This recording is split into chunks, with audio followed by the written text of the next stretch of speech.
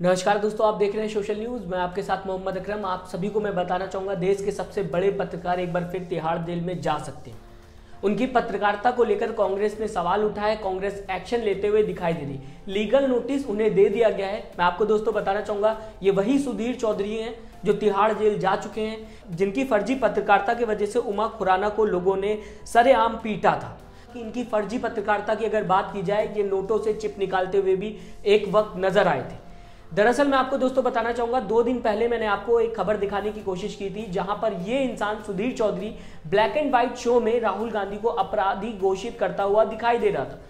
खुलेआम ये कह रहा था कि अगर एक अपराधी को पकड़ा जाता है और वो नीरव मोदी, ललित मोदी, कई लोगों का नाम लेता है और कहता है पुलिस से कि मेरे से भी बड़े अपराधी हैं तो क्या उस अपराधी को छोड़ देना चाहिए? इस तरीके की कहानी या मनगढ़ंत कहानी अगर बात की जाए, सुनाते हुए नज़र आ रहा था। जिसे श्रीनिवास बीवी ने उस समय शेयर किया था और अब देख सकते हैं आप, ये नोटिस कांग्रेस की तरफ़ से शेयर कर दिया गया है। श्रीनिवास बीवी इसे शेयर करते हुए दिखाई दे रहे अब आपको सबसे इंटरेस्टिंग बात बताना चाहूँगा सुधीर चौधरी को लेकर। ये इंसान वो इंसान है जो अब राहुल गांधी की भाषा बोलता हुआ दिखाई दे रहा है। इससे पहले लगातार राहुल गांधी पे सवाल उठा रहा था और अब जब लीगल एक्शन लेते हुए कांग्रेस दिखाई दे रही है तो राहुल गांधी की भाषा बोल रहा है। कैसे बोल रहा है? आगे बताऊँगा। सबसे पहले, श्रीनिवास क्या लिखते हुए नज़र आ रहे हैं? आपकी स्क्रीन पे रखना चाहूँगा कांग्रेस के श्रीनिवास बीवी अपने ट्विटर हैंडल से लिखते हुए नज़र आते हैं और साथ में लीगल नोटिस भी नीचे अटैच कर रखी है।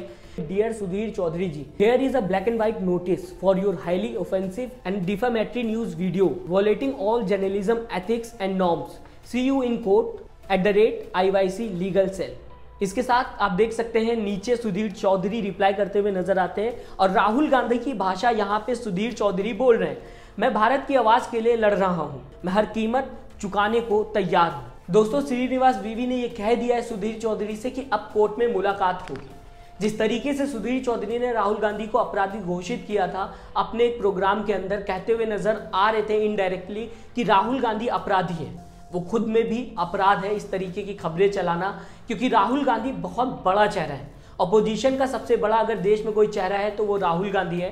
अपनी मर्यादा पत्रकारों को नहीं भूलनी चाहिए। आप सवाल उठा सकते हैं, आप सरकार से सवाल कर सकते हैं, सत्ता में जो सरकार है। अपोजिशन से भी नहीं, क्योंकि अपोजिशन का कोई लेना देना नहीं।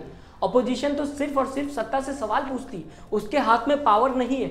चलो आप पूछ भी रहे हैं सवाल तो आप सवाल पूछिए ना। आप कैसे किसी को अपराधी बता सकते हैं? बिना किसी सबूत के। वो भी एक कहानी के द्वारा। क्या ये सही था? इससे पहले सुधीर चौधरी के मैंने आपको बताया किस तरीके से ये नैनो चिप निकालते हुए दिखाई दिए, जैसे श्रीनिवास बीवी ने अभी हाल ही में ट्वीट करते हुए आपके सामने वीडियो भी रखा है। पहले ये ट्वीट देख लीजिए, उसके बाद वो वीडियो भी देख लीजिएगा। और उसके बाद मैं आपको ये भी बताना चाहूँगा सुधीर चौधरी इसका रिप्लाई किस तरीके से करते हुए नज़र आ रहे हैं? श्रीनिवास बीवी लिखते हुए दिखाई देते हैं, ये वाली नैनो सच्चाई। और उसके बाद सुधीर चौधरी की ये वीडियो आपके सामने मैं लाना चाहूँगा, जो कि ट्वीट करते हुए श्रीनिवास बीवी दिखाई दे रहे हैं। दो हज़ार रूपए के हर एक नोट पर एनजीसी यानी नैनो जीपीएस चिप लगा हुआ होगा। और अब हम आपको ये भी बताएँगे कि एनजीसी तकनीक कैसे काम करती है। एनजीसी के काम करने के लिए किसी पावर सोर्स की ज़रूरत नहीं पड़ती। ये सिग्नल रिफ्लेक्टर की तरह काम करता है। जब कोई सैटेलाइट लोकेशन की जानकारी लेने के लिए सिग्नल देता है एनजीसी लोकेशन से इस सिग्नल को रिफ्लेक्ट कर देता है। इससे लोकेशन का सही अंदाज़ा मिल जाता है और सैटेलाइट को करेंसी के सीरियल नंबर की भी जानकारी मिल जाती है। यानी ऐसी करेंसी जिसमें एनजीसी लगा होता है, उसकी लोकेशन को ट्रैक किया जा सकता है। अब आप उसे चाहे तो सात तालों में भी बंद करके रखें, वो ट्रैक हो जाएगी। भले ही करेंसी नोट ग्राउंड लेवल से 120 मीटर नीचे क्यों ना रखा गया फ़िलहाल इसके बाद अगर बात की जाए, सुधीर चौधरी इसका भी रिप्लाई करते हुए दिखाई दे रहे हैं। मैं सच्चाई बोलता हूँ, देश के खातिर बोलता हूँ। और आखिरी दम तक सच के रास्ते पर ही चलूँगा। बहुत लंबी लिस्ट है। तिहाड़ जेल की मैं बात करूँ फेक न्यूज़ चलाने की बात करूँ नोट से नैनो चिप निकालने की बात करूँ अपोजिशन को किस तरीके से घेरा जाता है उसकी बात करूँ चाटू काटता की बात करूँ, कई बातें मैं आपके सामने रख सकता हूँ, लेकिन फ़िलहाल मैं आपको बताना चाहूँगा, मोहम्मद जुबैर क्या लिखते हुए नज़र आ रहे हैं, जो कि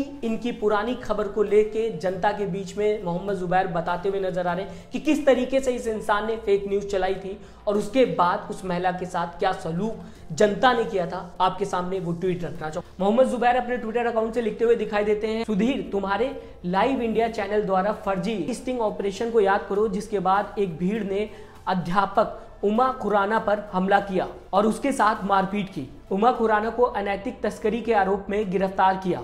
बाद में पुलिस ने पाया कि तुम्हारे चैनल का स्टिंग ऑपरेशन फर्जी था। सुधीर चौधरी, राहुल गांधी को अपराधी बोलते हुए नज़र आ रहे थे। साथ ही साथ मैंने आपको बताने की कोशिश की कि अब कांग्रेस इनके ऊपर लीगल एक्शन लेने वाली है। इनको नोटिस भेज दी गई है।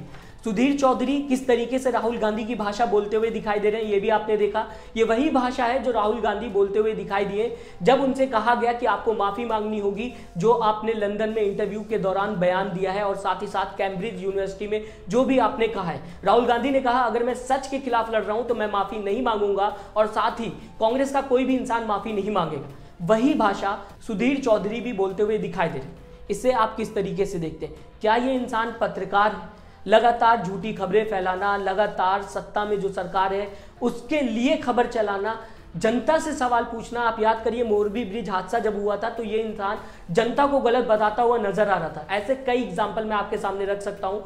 रिश्वत लेने की अगर बात की जाए, पैसे की हेरा फेरी को लेकर मैं आपके सामने कई बातें रख सकता हूँ। लेकिन अभी फ़िलहाल जिस तरीके से सुधीर चौधरी के ऊपर लीगल एक्शन लिया जा रहा है, उस पर आप अपनी प्रतिक्रिया ज़रूर दीजिए। क्या सच में अब आपको लगता है कि सुधीर चौधरी की पत्रकारिता जो है, वो पूरी तरीके से एक डायरेक्शन में जाते हुए दिखाई दे रही? है इस तरीके की खबर चलाना, राहुल गांधी को डायरेक्ट अपराधी घोषित कर देना, क्या ये पत्रकारिता है? या फिर पीआर एजेंसी का काम है? किसी सरकार के लिए काम करता हुआ ये इंसान नज़र आ रहा है अपनी राय ज़रूर दें अगर आप खबर समझ गए हों अगर आप समझ गए हों कि किस तरीके से झूठी खबरें फैलाने की कोशिश की जाती है किस तरीके से कांग्रेस को बदनाम किया जाता है किस तरीके से अपोजिशन को खत्म करने की कोशिश की जा रही है एक नारा दिया गया था कांग्रेस मुक्त भारत। कांग्रेस मुक्त भारत का निर्माण। उस मार्ग पर अब पत्रकार कुछ चलते हुए दिखाई दे रहे हैं क्या ये सही है?